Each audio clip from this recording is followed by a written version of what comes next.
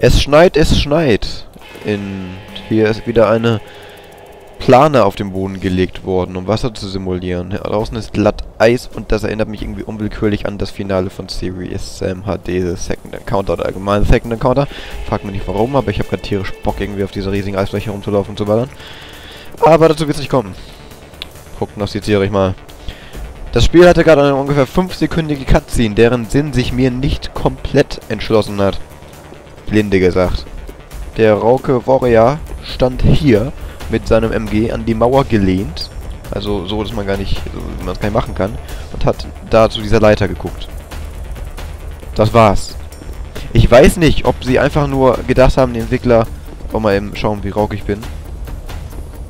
Ah, okay, nicht wirklich rauk. Wow. Okay. Ähm, ich weiß nicht, ob die Entwickler gedacht haben, wir brauchen vor jeder Mission eine Cutscene und dann aber überhaupt keinen Inhalt mehr hatten, nur keine Action, kein Budget, dann einfach einen Shot gemacht haben, wie der hier steht und da hinguckt, obwohl man dann hier spawnt in der Mitte des Weges und auch mit einer anderen Pistole. Oder ob sie wirklich glauben, dass die Spieler so verblödet sind, dass sie jetzt erstmal gegen die Wand drin so, ey, kann man nicht weiter, ab ins Wasser, kann man nicht weiter, äh, und einen Hinweis brauchen, dass da eine Leiter ist. Also ich finde, die ist nicht wirklich versteckt, die Leiter, wenn man die so spawnt, aber hm, soll ja so Spezialisten geben, nicht wahr? Nun, dann gehen wir doch mal diese grandiose Leiter hier hoch mit dieser wunderbar abgehackten, äh, Animation.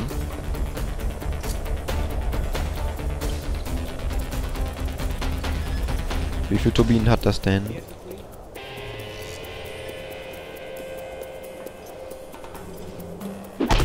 Vorhin habe ich gehört, dass sie ja reden, die Guards. Also nicht nur ein Skript entstellen, sondern anscheinend ganz allgemein so ein paar Standard-Lines erstellt wurden.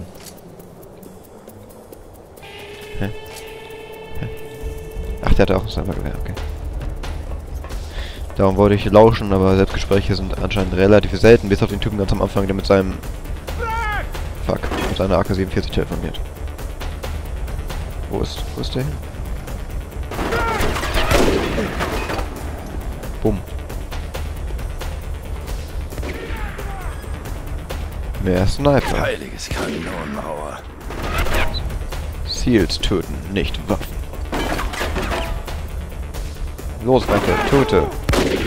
Ich, leb die, ich liebe diesen Gag aus American Dead so, ne?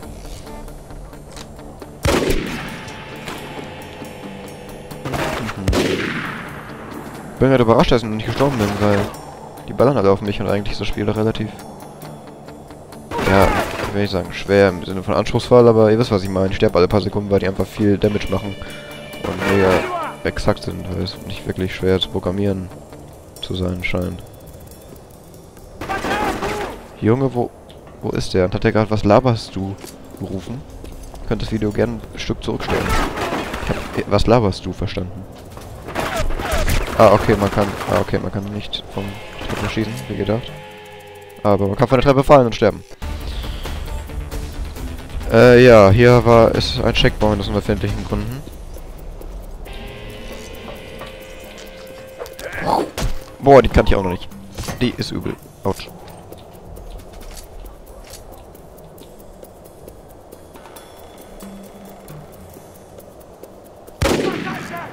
Gott verdammt, bin ich schlecht. Okay, mal.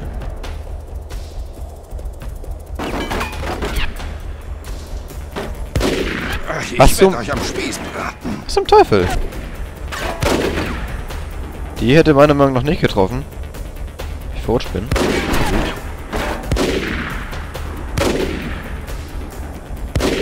Fuck it. Bleib stehen! Alles bewegt sich. Ah, okay. Da haben sie sich keine Differenzierung gegönnt, dass man da durchschießen kann. Oder meine Kugeln sind einfach so riesig. Meine Eier. Weil ich ja Rauk bin. Ähm, ähm. Entschuldigen Sie? Danke.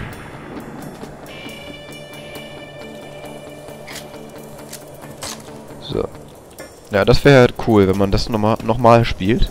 Oder wenn ich jetzt gestorben wäre, nochmal gestorben, nochmal spiele. die Gegner dann andere Deckung nehmen oder eine ganz andere Taktik nehmen. Ich meine, der Standard-Deckungsshooter Gegner nom, nom, nom. macht ja immer das gleiche, indem er einfach alle paar Sekunden seinen Kopf hochstreckt, was gegen jegliche Intelligenz ist. Blind feuern ist sinnvoll. Das heißt natürlich mal eine Schrotflinte, machst du über die ganze Map, aber egal. Und, ähm, ja, organisiertes Vorgehen, wie in 4.3. Nicht einfach mal. Ist sinnvoll. Nur alle paar Sekunden das hoch, den Kopf hochstecken. Das ist einfach nur dumm und ist einfach nur eine Herausforderung für den Spieler sein. Wow, seit wann stürmen die? Das war zum Beispiel schlau. Das hat mich überrascht. So was erwartet man als Spieler nicht. Yay, Gesundheit und Sicherheit. Achievement. Hey, Matschgesicht. Dead Physics, so. Du.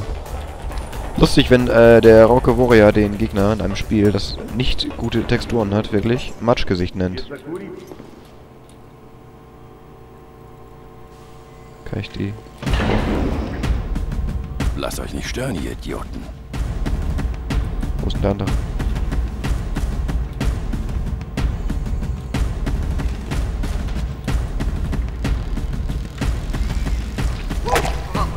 Boah, das hätte man doch wirklich mal an die Umgebung angepasst machen können. Ich meine, der hat doch ein Werkzeug in Hand, oder ich Okay, der rechts neben dem schießt noch. Schießt, schie schießt schon auf mich und bewertet mich. Hält seinen Kumpel aber nicht davon ab, mich vollkommen zu ignorieren. Wenn ich springen könnte, ne? Mein Gott. Boah, es kommt noch so ein richtig rauker Fahrten der Dunkelheit. Das wollten sie noch mal reinbringen. Haben sie gemerkt, hm, wir haben jetzt dieses coole Feature da. So, wir nutzen es kaum. Hauptsache die Gegner sind immer noch oben, wissen genau wo ich bin. Ist doch alles erleuchtet oder ich mich da? Das ist alles erleuchtet! Wofür wird der Stromkosten dann anyway?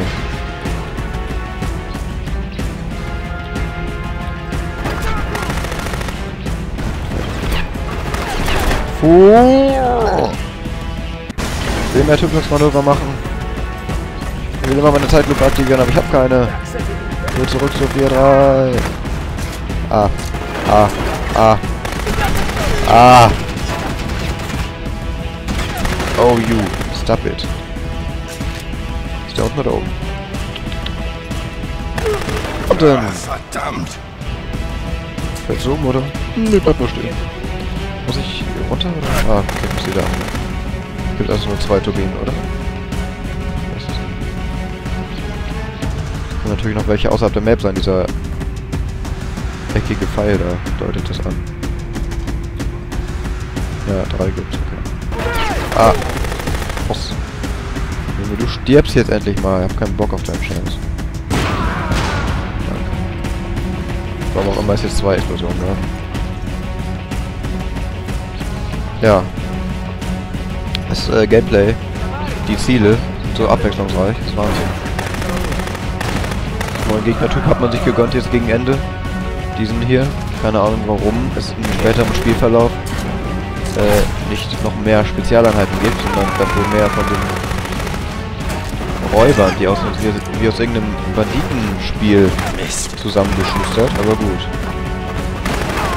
Ja, dieses Hinrennen, E-Drucken und Zurückrennen erinnert mich an die erste Mission von Call of Juarez. The Cartel. Und die erste Mission von Call of Juarez, The Cartel mit dem Graffiti ist einfach unglaublich mega scheiße. Schlecht gemacht. Ich wirklich. Lust auf das Spiel. Das dann später übrigens überraschenderweise meiner Meinung nach, was die Story angeht, sehr gut wird. Und was den Group-Aspekt angeht, auch interessant wird. Zwar nicht gut, aber interessant und durchaus unterhaltsam mit anderen Menschen. Ich muss es leider allein durchspielen. Ich weiß darum, dass es total scheiße ist alleine, weil wenn deine Kumpels dich äh, beschützen sollen. Und Los beide geht's. Gehirn amputiert sind, dann stirbst du einfach. Zumal du alles selber machen musst, weil die KI nichts kann. Sind diese Kerle echt? Was? Warte.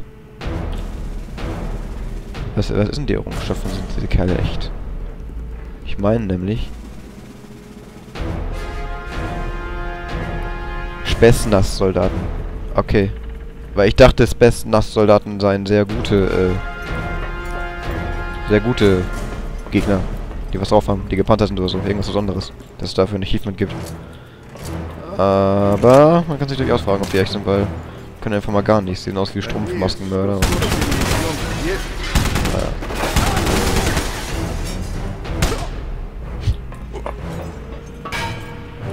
OMG. Let's spawn him. Ich wurde überlebt. Ich hätte überlebt. Mehr Strumpfmaskenmörder.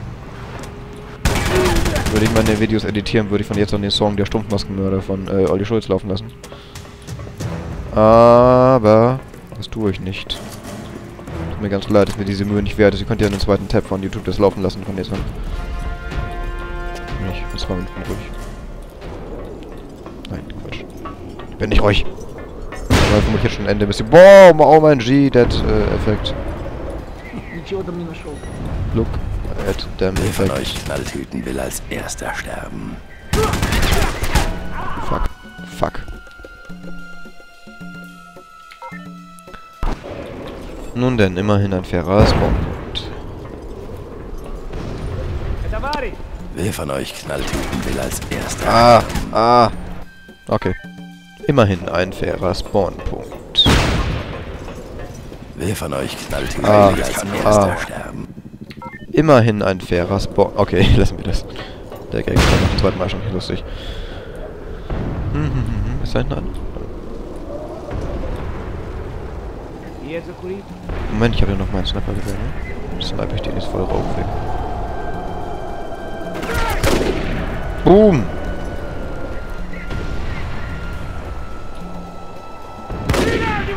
Sehr schön auch, was ich gelesen habe. Ich will ja alle, alle Achievements haben. Ähm, das Spiel stackt die äh, Schwache das Spiel, indem mit dem Schwierigkeitsgrad Achievements nicht. das heißt, es gibt eins für auf leicht, eins auf mittel, eins auf schwer. Und wenn man auf schwer durchspielt, kriegt man nicht die für mittel und einfach. Das heißt, man müsste es dann, um alle Achievements zu haben, dreimal durchspielen. Nicht, dass das auf, äh? Einfach irgendeine Herausforderung wäre. Ich habe auf Deutsch und auf einfach, nur um diese geilen, coolen Sprüche zu hören und so, die ersten drei Level nämlich nochmal durchgespielt. Ja. Das hat mich ungefähr 15 Minuten gedauert. Das ist so geil. Ähm. Ja. Also so kann man Spielzeit natürlich strecken. Und das ist einfach nur Verdammt, mega lächerlich. für diese Scheiße. Wie alle vernünftigen Spiele stacken. Selbstverständlich, dass man natürlich alle drei drücken, wenn man Schwierigkeitsgrad spielt. Weil, ist ja logisch. Wenn man es auf schwer schafft, dann schafft man es mit Mitteln auf einfach. Wenn man nicht an der akuter Unterforderung sterben wird. Wer von euch Knalltüten will als erster sterben? Heiliges Kanonenrohr. Das macht aber gar keinen Schaden. Guckt euch dieses... Das, sind, das, das ist keine Animation, das sind Sprites. Das sind auftauchende 2D-Stripes. Hotline Miami hat ähnliche Feuer- und Explosionseffekte. Oh Gott. Oh Gott. Oh Gott. Gut, machen wir es wieder ernsthaft. Oh, Wer von euch Knalltüten will als diese Physik, yo. ich ich schieß mal noch in den Beckenbereich. Ist das geil. Oh Mann, das ist als ob die darauf trainiert worden wären, noch ein Rad zu schlagen, bevor die sterben, oder eine Rückwärtsseite zu machen. Oh Gott. Verdammt, ich werde zu alt für diese Scheiße. Aus einem Zirkusspiel, einem Zombie-Spiel, einem. Manhunt-Nachmacher und Superkiller. Mist. Also Superkiller ist ja der Manhunt-Nachmacher. Hat man dieses Spiel zusammen geklaut. Junge! Verdammt nochmal. Junge! Aua, Gott verdammt! Also jetzt... Jetzt reicht's mir echt mal hier mit euch. Spucken. Wer von euch Knalltüten will als erster sterben? Dass ich hier mal ratchen würde, hätte ich gar nicht gedacht in dem Spiel. Aber ich spiele auch einfach zu scheiße. Wer von euch Knalltüten Granate. will als erster sterben?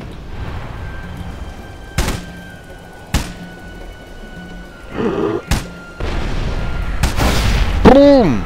Diese Effekte.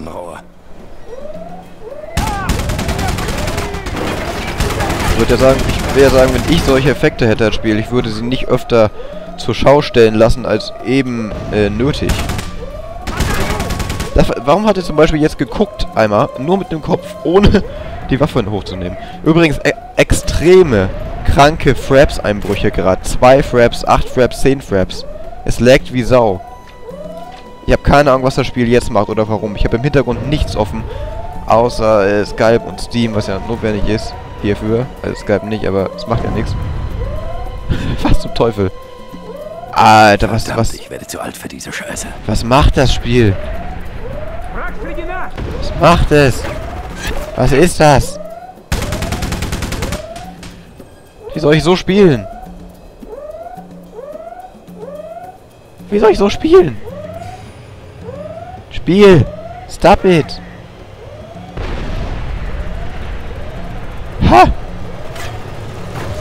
Hulk Warrior, was tust du? Ja, wow, ich muss diese Episode dann hier wohl abbrechen. Keine Ahnung, was das soll. Ciao.